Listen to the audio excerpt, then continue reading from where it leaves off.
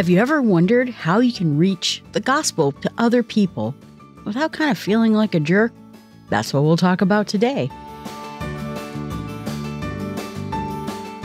The Great Commission is not an option to be considered, it's a command to be obeyed. Hudson Taylor. Today, we're going to continue the conversation that discusses how evangelism can be less stressful. This is a presentation that I give at a Christian college because, believe it or not, even people who work in a Christian college, are trained in a Christian college to be teachers and pastors and other types of occupations within the church, it still is intimidating to reach other people with the message of God. And the way I looked at it is a couple of different ways. Is that, first of all, when I go to work on a Monday and I say, Oh, I saw this amazing movie. It was so good. You just have to see it. It's genuine because it's a part of my life. People know I like to go to nerd movies. Or if someone goes to a fantastic restaurant, you expect they're going to tell you about it. And I fundamentally believe that some of our problem with evangelism or reaching others with the gospel has a little bit to do with the fact that our lives are not as integrated with God as we would hope it would be. Otherwise, I think it would be a lot easier. And again, I'm a result because someone reached out to me. Someone brought the word of God, even though I knew it. I grew up knowing it. I knew lots of Christians, but someone talked to me about God and I stopped saying no. I stopped fighting the love, the compassion, the forgiveness of God. And so I'm grateful that someone talked to me about it and just didn't say, hmm, you know, I kind of have a headache today and I don't feel like it. So the first thing to know is that the victory is God's. God loves an outweighed victory. In Judges, he told Gideon, like, go pick the worst people and go make them your soldiers. Send most of them home. You don't need that big, gigantic army because he wanted it to be this clear image of God's doing. And Jesus' association with Nazareth. In John, it says nothing good is in Nazareth. You know, we think about places like I grew up. When you think about those places, and if you say, oh, this professor is fantastic, he comes from Gwinn, Michigan, you'd be like, eh, nothing really good comes from Gwinn, Michigan. You know, it's that kind of idea but God's victory is his own. Romans 9 says that we can be lumps of clay that are used for God's purpose. So he loves forming us into something that makes us great. And if we think, you know, I've sinned too much, I've done too many wrong things, I have no place in the world of God, I have no place in his mission. Well, take a look at the Bible because the whole Bible is just filled with people who messed up over and over again, really badly. I mean, no one messed up more than Samson. No one messed up more than David. A lot of people were complete screw ups, but you know what? God wants them to be a part of his mission. This is a tough time. People get canceled, people get shamed or embarrassed because they talk about God and they talk about their faith. And every time I have done this presentation, I think I've done it for almost a decade, if not more. I read the passage from 2 Timothy 4 2 through 5, where it says, For a time will come when men will not put up with sound doctrine. Instead, to suit their own desires, they will gather around them a great number of teachers to say what their itching ears want to hear. They'll turn their ear away from the truth and turn aside to myths. And when I first read that, you know, 10, 15 years ago, I thought, wow, it sounds like today. It has sounded more and more like today every year I've given this presentation. Everyone wants to hear what they want to hear. Someone said, Don't you feel that the world is becoming more atheistic? I don't think it is. I think it's getting weirder. I see people who are declared atheists talk about crystals, talk about astrology, talk about tarot cards and reading tea leaves and worshiping this or worshiping that. I saw a number of crimes committed with people who have decided they're Vikings. How do we get back to the Vikings? But now we here we are back to Vikings. So it's not that people are losing faith, they are putting their faith into everything. And then comes the question of urgency. I don't feel like I should do it. I feel sometimes myself too. Well, I'm not going to say anything today. Super tired, not feeling all that social. And there's no sense of urgency in us telling other people about the good news. And Romans 10 says that how can anyone believe if they haven't heard? How can they hear if unless someone is preaching to them? And I don't mean preaching to them as in the angry, I'm telling you what to do. Telling them about the gospel and the good news of Jesus. And Jesus says, I am the way, the truth, and the life. No one comes to the Father except through me. So we have a clear message and we have a clear urgency. I mentioned the last time that if you saw a bridge was out and you said, "Yeah, I see all these bikers who are about to fly off the edge of the bridge, but I'm feeling very antisocial today. I'll tell someone about it tomorrow. Or maybe I'll just call the city and they'll deal with it. You know, there's there's no sense of urgency in us. And you know, the time that I told my dad I became a Christian, we went out for lunch. And I told him, and I told you this in my own story, I never saw him again. And he died. I don't know who talked to him since I left, but I had one shot and I didn't take it. You know, I had a shot with my grandmother and I didn't take it either. It's hard because you don't know when you're going to see people and you don't know when they're going to go up against where that bridge is out. It's easy for us to see the bikers heading towards the bridge. It's not so easy to see when we're looking at people around us. So we have to have some urgency. And then all these people talk about in the Bible, and we wish we could be more like them, where Isaiah says, Here I am, send me. Who says that? Isaiah does. Or in Luke, where Mary said, I am the Lord's servant, Mary answered, May your word to me be fulfilled. Those are amazing people because most of us would probably crawl into bed if we heard any of those messages. And the other part, and this is my favorite uh, piece about it, is where Luke talks about that nobody hides a light in a jar and puts it under your bed. And I mentioned before that back in the time of Jesus, you could work months, hours of light, maybe even just an hour of light. So, this image that you would light something so expensive, and then maybe it'd be like buying the Hope Diamond, the biggest diamond in the world, and then putting it in a case and burying it in your backyard because you never wanted to look at it. It's just completely outside the image of what we should be doing. If we light a light, we want it to shine. And that's the same thing with the message of God. That's what Luke is saying. We would never take the message of God, which is good news for everybody, and hide it. I give this cartoon in my presentation where there's a kid going, There's only four more days until the Hobbit. And then someone says, Do you have to scream that outside my window? And he goes, Well, it's not necessary, but a service to the public I consider to be my civic duty. We feel excited to tell people about great shows, great movies, fantastic restaurants. But then that fundamental problem happens that we feel a little less excited to tell them about the best news of our life at all. So it's so easy for us to highlight, to, to be exuberant about the things that actually really excite us. And it's so hard to talk to other people about Jesus that I get it too. Same thing. But God tells us not to be fearful. Did that podcast on being afraid because God is with us wherever we go. And so we have to stand firm. The other thing you have to be careful about is to, if you are going to share the gospel, is to be humble.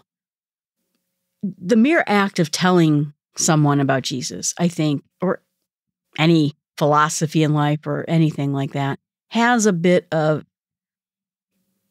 it's not arrogance, but people hear it as arrogance.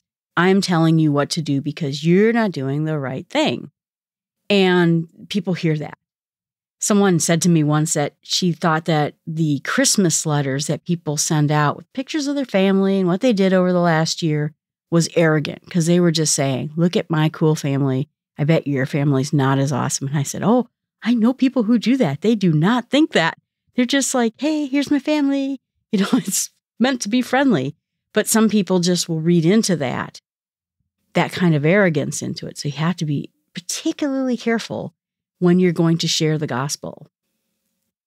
And remember to be patient. There's so many people who talk to me about Jesus throughout my life, and it looks like it had no fruit. But I think it's not just my friend at the very end who helped. I think it was all the people along the way too. So even if you never see that kapow moment, my friend got to see it. All those other people never saw it. You have to realize that God talks often about seeds, about fruit, and all of that takes time. So please don't think that maybe if you didn't see a big bang moment happen, that's why. And it's important then to read more, read more of the scriptures. It'll help you, it'll help keep you calm, give thanks, pray, meditate on the word. It's a little bit different than the Eastern meditation. It's more like what they call ruminating. When a cow chews its cud, it's just going over and over and over on the same thing till it's thoroughly chopped up. That's what meditation is. It's filling yourself with God but if you do those things, it'll help you gain some strength. So, some common pitfalls people have when they are telling people about God and sharing their faith is they may not tell the truth. All those people told me not even what they believed, but they were too uh, scared to say it. Sometimes people just don't say anything, they procrastinate. Like I said, we have to have that urgency there. Sometimes people feel used, or you tackle someone on the street if you were going to die today, where would you go? And I know that's a big popular technique, but it really intimidates people, you know? And I don't know that it helps them think about it. So you don't want them intimidated. You don't want to make them feel used. I think sometimes people try to get converts like Girl Scouts selling cookies. It's another check off the list. So we don't want people to feel unloved, like a number, you know, anything like that. And the other part too is you don't want to be a bad example. You don't want to be that person who, now, of course, we all sin, but being this very bad example. The funny story about me and becoming a Christian is that I belonged to a bowling team for college. There were five women on this team. And all of a sudden, I show up to my first church service on a Sunday, and all four of them were there. They all go to the same church. And I said, You all come to the same church? Oh, yeah. That's how we got on this team because we all knew each other and we knew we were all bowlers. So we just needed the fifth person. And so I started traveling around with them on bowling tournaments. And one person in the church in particular, you know, I'm a brand new Christian. I mean, brand, brand new. And she almost did everything she could because she was away from home. She was away from anything. She drank and, you know, all the things. And I think she doesn't realize that it's not just about her, but it's also about the example she's making. And I think she had to be a little bit more conscious about the message she's sending to other people. The other thing that you realize too is that you don't have to be in a relationship with someone. Some people say, well, I'm trying to build up that relationship before I tell them about God. I have told people about God talking to them in a store in a line someone was crying behind me and I said, Hey, what's wrong? What's going on? And, and she's like, Oh, this happened and that happened. And I just can't get through my life anymore. And I said, Well, I believe that Jesus is here for us, here to help us. I will pray for you. And, you know, here's my contact information. Send me an email if you want to talk about it. I believe God has good for you because he cares about you. And so it's a way that you can share who you are. So, one of the easy ways that I do to talk about Christ and to, to share the message is first, I let people know I'm a Christian. A long time, a person getting one of those fish things that they put on their car, and they asked me if I wanted one too. And I said, Well, you know, I don't think I ever drive very Christian. And I would hate to be a bad example to people. And that's a terrible answer because the answer is I should drive like I'm a Christian. And same thing. You should live like you're a Christian. You know, someone gave that quote, maybe it was C.S. Lewis, that if there was a trial to condemn you of being a Christian, would there be enough evidence to prove it? So you tell people that you're a Christian. I, I just say, well, Joe, what'd you do this weekend? Well, let's see. I went to church. It was Easter Sunday. Ooh, you're a Christian. They know immediately, right? Or I will say, I have a Christian podcast. So that you don't have to say, oh, by the way, I'm a Christian. There's a lot of ways of saying it without saying it. Certainly be a part of conversation. And then I have people invite me to talk about my faith.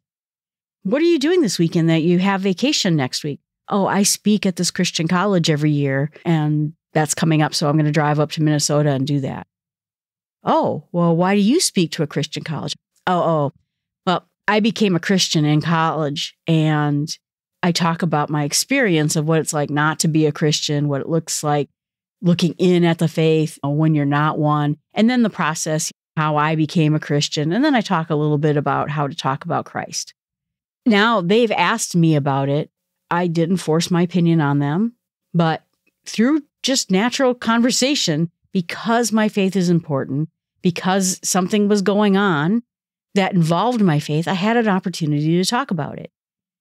I think that's where people have the most difficult time. If faith is not a part of your life, if it's difficult for you to talk about, it's probably because you're having to reach to invent something to say. But it can be as simple as, Oh, I spent the rainy weekend reading a really good book. It was the Screwtape Letters. It's this conversation between these two demons trying to bring this man away from God. Really? Who's that by? Oh, it's by C.S. Lewis, you know, the guy who wrote the Chronicles of Narnia. Oh, really? He wrote Christian books? Oh, yeah, even Narnia is a Christian book. Aslan is Jesus. You know, so you can have a conversation about things because your faith and being an active Christian is in your life.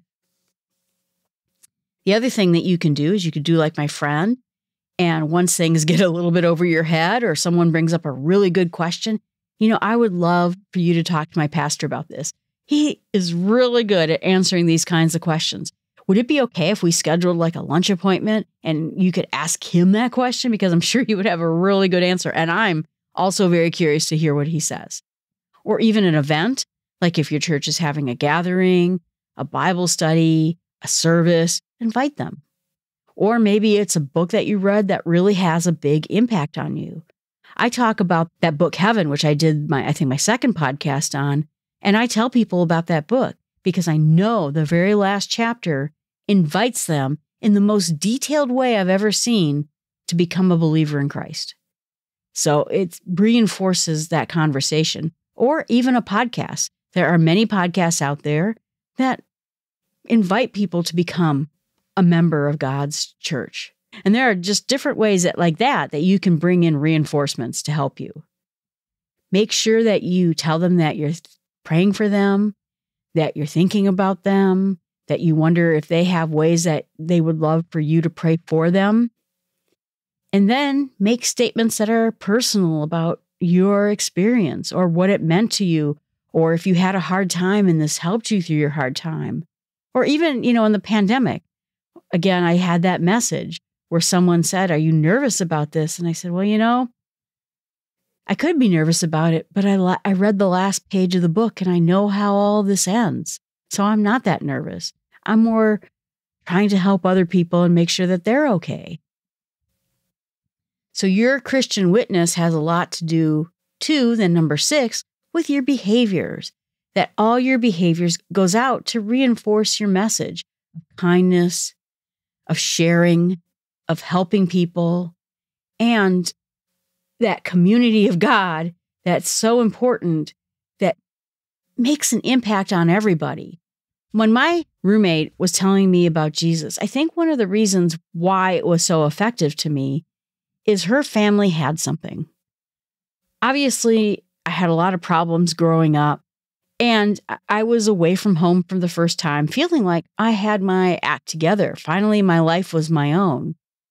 But when I saw my friend and I saw her family, I saw this inner peace. No matter what happened, whether it was financial, whether it was something with turmoil, they had this solidness to them that made me want to have what they had. So I think that's a great step forward to help people understand exactly how having a faith like this impacts your daily life. So that is what I call my Jill's chicken technique to telling the gospel. I'm a chicken. I think a lot of people are a chicken, but it's a non stressful way of talking about it. I also have one last thing about it is that a lot of times when people you talk to about God will say that if God was so loving, why does he keep people out of heaven? And I say, well, God never keeps anybody out of heaven. We keep ourselves out of heaven. We reject the message, and that's what keeps it out. I said, imagine if I had a party. Every day I come to work and I say, Bob, come to my party. I don't want to come to your party. No, I'm telling you, Bob, here's an invitation. And every day and in every way, Bob gets this invitation to come to the party. And then on Monday, Bob finds out that not only was the party fantastic, but it's forever and it's really heaven. Well, why didn't I come to the party? How come I wasn't there if this party was so amazing and so important to be at? And I'm like, Bob, I sent you everything. I sent you invitations. I sent you emails. I told you to come. I begged you to come. And that's what God is really doing to all of us. He is begging us to come to heaven. And we are the ones saying no. God excludes nobody from heaven and asks everyone to be a part of his family. And so I try to put it more in that way because God is wanting everybody in heaven. That was the idea. That is the idea. And so God never excludes anyone, but it is each of us who rejects the message of Jesus that's keeping our own lives from heaven. We're the ones doing it, not God. We'll talk a little bit later at another point about some evangelism styles that people in the New Testament had. But I hope this helps. I hope this kind of gives you some thoughts about how to be kind, be listening, be humble, and care for the people you talk to. I think it's a matter of being very human. There used to be this video I saw that was Out of the Salt Shaker by University Press. And there was a woman, I can't remember her name, and I'm sorry, but she was trying to evangelize to this family that was living in an apartment across the way from her apartment. And one day she had a really awful day and she came home and she was crying. And these people walked out of the door and said, Oh, well, why are you crying? You know, come inside, come tell us about it. And so finally, at the end, they said, You know, we would now love to really hear about your message about Jesus you keep trying to tell us. And she goes, Now? Now you want me to tell my message about Jesus? And they said, Yeah, you were so happy and almost plasticky at times. We didn't think you were a real human being, but now we see you're a real human being. You have bad days, you have good days. You know, you're you're actually human, and we would love to hear what Jesus brings to your life. So that in the end I think is the best message is that we are expected to be ourselves. God made us to be unique human beings with strengths and gifts. And we are meant to use those strengths and gifts. Maybe if I use bowling to bring people to God, there you go. I'm using my strengths and gifts. But think about your own strengths and gifts. So that's my challenge to you. Think about some ways that you have strengths and gifts. Are you good at art? Make Christian art. If you're good at music, make a song about it if you're good into podcasting, try making a podcast about it. Or if you're a conversationalist, one on one, you're good at public speaking on large scales, whatever it is that you have a gift, try to bring the message of Christ in through your gifts. So I want you to think about one way that you relate to people very well and they hear you talk about something else, like a movie or a restaurant. Use that same technique and see if one time this week you couldn't tell them about your relationship to Jesus, the good news, and how God has everything planned for them and wants them to come home. All right, everyone, thanks so much. I appreciate you listening to the podcast. Please remember that you can always email me at jill at smallstepswithgod.com. I will pray for you. I'd love to hear your ideas. If you disagree with me, that's okay too. And just remember, our path to making the message of God reach out to everyone starts with small steps.